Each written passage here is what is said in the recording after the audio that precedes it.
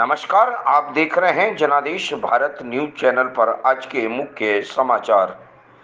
One विभाग के लाख जतन के बाद भी गुलदार के आतंक पर नहीं पाया जा रहा काबू। बिजनौर के ताजपुर इलाके में तीन लोगों पर गुलदार ने हमला कर बुरी तरह जख्मी कर दिया। तीनों को अस्पताल में भर्ती कराया गया। गुलदार की दस्तक से इलाके में डर का माहौल, स्थानीय लोगों ने वन विभाग का पिंजरा लगवाकर जल्द गुलदार को पकड़े जाने की मांग की है।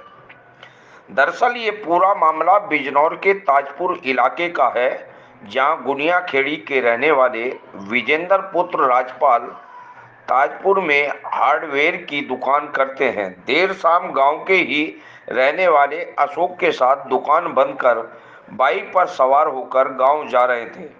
बता रहा बताया जा रहा है कि रास्ते में एक नलकूप के पास जैसे ही उनकी बाइक पहुँची, तभी गुलदार ने दोनों पर अचानक से हमला कर दिया। शोर सुनकर गुलदार मौके से भाग गया। आसपास के लोगों ने दोनों घायलों को अस्पताल में भर्ती कराया। वहीं दूसरी घटना उस वक्त घटी, जब गुनिया खेड़ी के रहने वाले मतलूब शाम के वक्त पैदल घर लौट रहा था।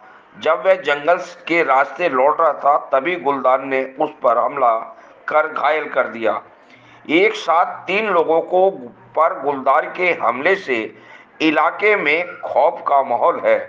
स्थानीय लोगों ने वन विभाग से जल्द पिंजरा लगाकर गुलदार को पकड़े जाने की मांग की है। आप देख रहे हैं, हमारे सहयोगी संवाददाता नीरज पाल की यह खबर, जनादेश भारत न्यूज़ चैनल पर।